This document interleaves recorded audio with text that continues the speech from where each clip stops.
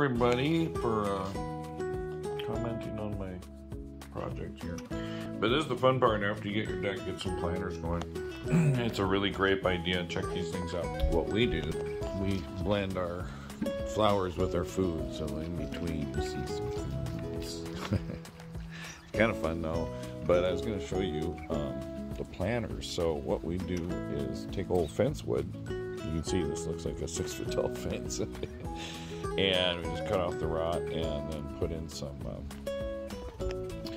some little planters there put the drains in there. Um, but next year is going to be really fun uh, for uh, for gardening. We got the giant greenhouse this year so my wife is so sweet. Let me do that. And uh, but I say it's it's fun to, to kind of to weave in and out with the food and flowers. You got some potatoes in there believe it or not.